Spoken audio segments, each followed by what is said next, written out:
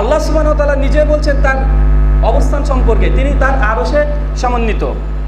এবার আসুন, আমাদের নবী মোহাম্মদ সাল্লাহ সাল্লাম তিনি কি বলেন? বিখ্যাত হাদিস সাই মুসলিম কিতাবুল ইমান হাদিস নম্বর একশো চুরানব্বই। শোনেন আবু দাউদ, হাদিস নম্বর নশো চুয়ান্ন। আল্লাহ সাল্লাহ সাল্লামের কাছে একজন ব্যক্তি এসে অভিযোগ করছে যে, আল্লাহ রসুল, আমার একজন দাসী ছিল, বাচ্চা, ছোট্ট। তো তাকে আমি মেরেছিলাম। তা আল্লাহ কারণ জানতে চাইলেন। সঙ্গে সঙ্গে তিনি বললেন যে এই দাসীটিকে আমি বকরি, অর্থাৎ ছাগল চড়াতে দিয়েছিলাম, এই জাতীয় কিছু। তো সে হারিয়ে ফেলেছে। আর এই জন্য রাগ কন্ট্রোল না করতে পারে, মেরে দিয়েছি। আল্লাহ রসুল বলছেন, তাকে ডেকে নিয়ে এসো।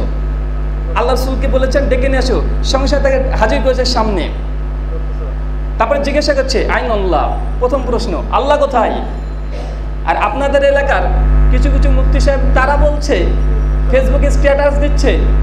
যে নাস্তিকদের প্রথম দুটো প্রশ্ন আর তথাকথিত লামাজাবি আহলে হাদিস তাদেরও দুটো প্রশ্ন প্রথম। কি? আল্লাহ কোথায়? ভাই, প্রশ্ন কে করছে? একজন দাসী মহিলা তাকে মেরেছে, আল্লাহ কোনো প্রশ্ন করেনি। বলো, কালেমা বলো, জিজ্ঞাসা করেছে? প্রথম প্রশ্ন করছে কি? আল্লাহ রসুল করছেন। আইন আল্লাহ আল্লাহ কোথায়? আর আপনাদের মুক্তি সাহেব বলছে যে এই প্রশ্ন নাকি নাস্তিকরা করে। নওয়াজ মিন জালিক। এই অপবাদটা কার পরে পড়ছে? রাসুল্লাহর প্রতি। আবার আশেখে রাসুল্লাহ দাবি করে, এই ধরনের লোকগুলো মানে এরা হচ্ছে মুখোশ পরা মুক্তি। পরিষ্কার, আল্লাহ কোথায়? আল্লাহ রসুল স্বয়ং নিজে প্রশ্ন করছে, একজন মুশরেক কাফের আর মুমিনের জন্য বৈশিষ্ট্য করার জন্য? প্রথম প্রশ্ন কি? আল্লাহ কোথায়? জিজ্ঞাসা করেন, আল্লাহ রসুলের এই বিষয়টি থেমে যাবে। মেয়েটি কি বলেছিল? আল্লাহ সব জায়গায় আছে। পায়খানা বাথরুম সব জায়গায় আছে। আপনার অন্তরের মধ্যে আছে, আমি কিছু বলেছে কি? না, ফিস সামাই।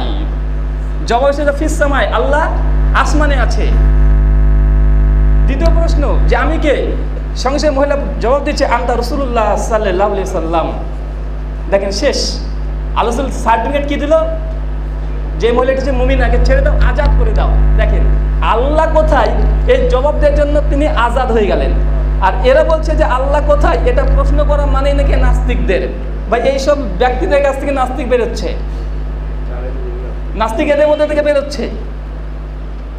আবার তারা বলছে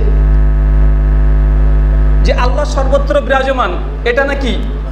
এ সরে আল্লাহ নাকি আসমানে সমান্বিত। নিজের আরও সেটা নাকি খ্রিস্টানদের আকিদা। এ বিষয়ে বইও লেখা হয়েছে। কি কাউসারি নামে একজন দেখলাম ইন্টারনেট একটা ব্লগ সে তিনি লিখেছেন, আল্লাহ কোথায়? তো আল্লাহ আসমানে আছে, এটা নাকি খ্রিস্টানদের আকিদা? ভাই, তাই। মেলা খ্রিস্টান আছে, গিয়ে জিজ্ঞাসা করবেন যে তোমাদের ঈশ্বর কোথায়? ঈশ্বর কোথায়? কেউ বলবে না যে, ঈশ্বর তাদের আসমানে অবস্থান করে। অথবা বাইবেল পড়বেন? বাইবেল? মানে খবরদার ইঞ্জিল বলবেন না। ইঞ্জিল আর বাইবেলের মধ্যে পার্থক্য আছে। আমরা মুসলিম মুসলিমদেরকে এখানে ধোকা দেয়। ইঞ্জিল আর বাইবেলের মধ্যে পার্থক্য আছে। বাইবেল এসছে গ্রিক শব্দ বিপ্লস থেকে মানে অনেকগুলি বই। কে একত্রিত করে তাকে বলে বাইবেল?